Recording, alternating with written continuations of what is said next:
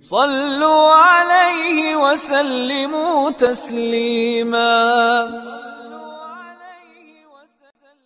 Ada hadiah, ada jam tangan, yang pakai jam tangan kiri ke kanan. Kiri, kalau ada yang pakai jam tangan kanan orang pelit itu.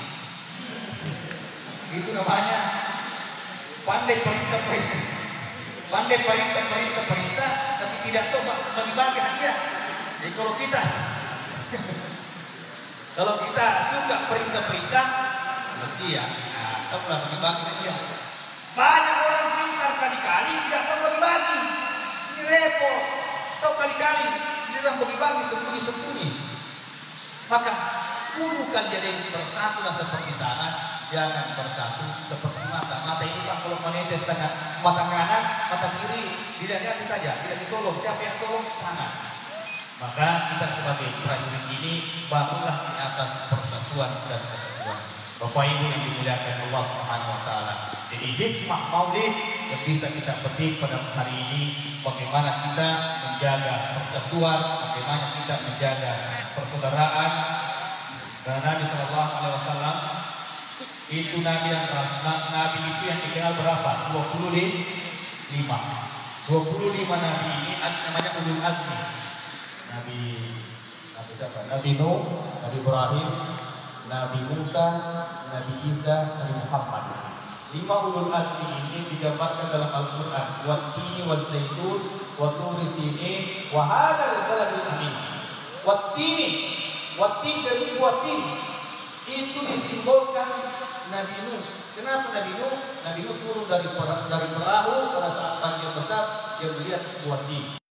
Zaitun, zaitun ini disimbolkan Nabi Isa dan Nabi Nabi Isa dan Nabi uh, Ibrahim. Karena zaitun itu tumbuhnya di Palestina.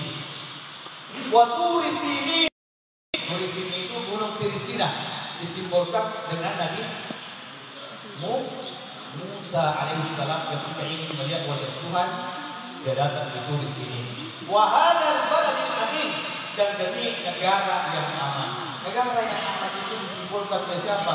Nabiullah Muhammad Sallallahu Alaihi Wasallam. Jadi Nabi itu menginginkan kedamaian untuk negaranya, menginginkan Nabi itu sangat cinta tanah air.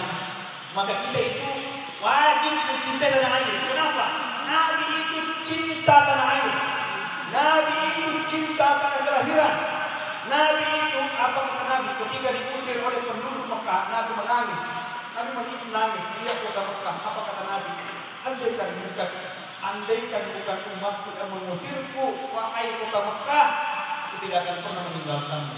Saking cintanya Nabi kepada tanah airnya. Di situlah lahir Nabi. Di situ Nabi dibesarkan. Di situ Nabi bermain di waktu kecil.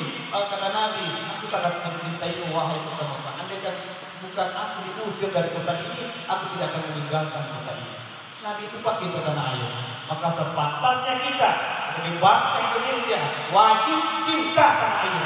Maka kata Ki Haji Hasyim Asyari, kubul watan minal iman, cinta tanah air sebagian dari dari iman. Sebagian dari iman.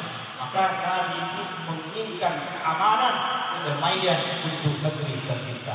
Maka Bapak Ibu yang dimuliakan Allah, jadi jangan jangan anggap bahwa hanya sholat ibadah itu, uh, itu ibadah, tapi apa pun aktivitas kita itu bernilai ibadah. Kita datang ke kantor niat karena Allah itu ibadah. Kita mempertahankan republik ini berapa banyak anak-anak yang kita selamatkan, berapa banyak orang-orang yang kita amankan itu merupakan ibadah sisi Allah Subhanahu wa taala.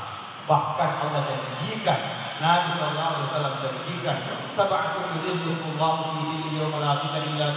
Ada tujuh yang mendapat tidak ada kecuali dari Allah. Bayangkan kalau pada matahari dengan kepala. Di sini saja berapa di atas kepala. Siang-siang kita berdiri, Masya Allah, panasnya luar biasa. Di pada pasir sejengkal. Tapi kata Allah yang memberikan naungan adalah Allah Subhanahu wa taala. Yang mana itu? Yang pertama yang disebutkan al-imam al-adil. Imam yang adil, pemimpin yang adil. Sebaik-baik adil adil itu baik, tapi yang paling baik adalah pemimpin yang adil karena dia akan mendapatkan naungan di padang mahsyar. Bapak Ibu yang dimuliakan oleh Allah Subhanahu wa taala, mungkin itu yang sempat saya sampaikan. Kita tutup sama-sama dengan sama-sama kita berdoa kepada Allah Subhanahu wa taala. Mudah-mudahan peringatan Maulid kali ini membawa rahmat dari Allah Subhanahu wa taala dan terakhir kita tutup uh, dengan sama-sama bersalawat kepada Nabi Sallallahu Alaihi Wasallam. Alhamdulillah,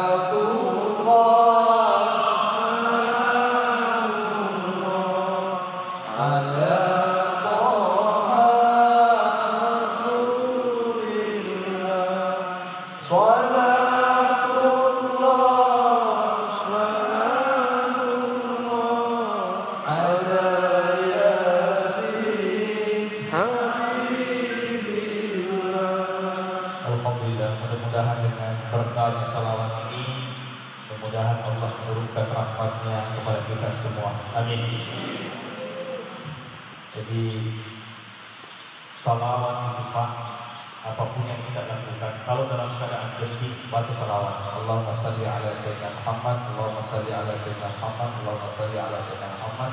Hasbi Allah, ni'mal wakil, ni'mal maula wa ni'mal nasir, la haula wa la quwata illa billah.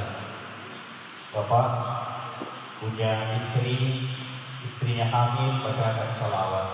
Anaknya sakit, bacakan salawat. Istrinya sakit kepala, pegang kepalanya, bacakan salawat. Istrinya sakit gigi, pegang, bacakan salawat. Kecuali kalau istrinya cerewet, kalau istri yang cerewet, pegang mulutnya, bacakan salawat.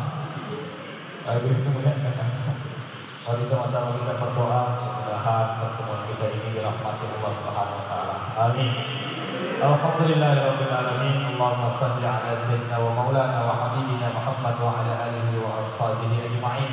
اللهم اكفنا بحلالك عن حرامك واغننا بفضلك عمن سواك اللهم انا نسالك الهدى والتقى والعفاف والغنى اللهم سلمنا لاخواننا المسلمين والمسلمات يا الله اللهم اعز المسلمين والمسلمات في اندونيسيا وفي مراوكي وفي كل مكان ارحمنا ارحمنا يا ارحم الراحمين يا الله اللهم افتح لنا ابواب البركه أبواب الرزق أبواب الصحه أبواب السلامه أبواب القوة أبواب رضاك أبواب رحمتك أبواب التوبة أبواب الجنة وأدخلنا برحمتك في عبادك الصالحين. ربنا آتنا من لدنك رحمة وهب لنا من أمرنا رشدا. ربنا آتنا في الدنيا حسنة وفي الآخرة حسنة. وقنا عذاب النار. وصلى الله على سيدنا محمد. والحمد لله رب العالمين. الفاتحة. Iya, kan aku doyan mustahil.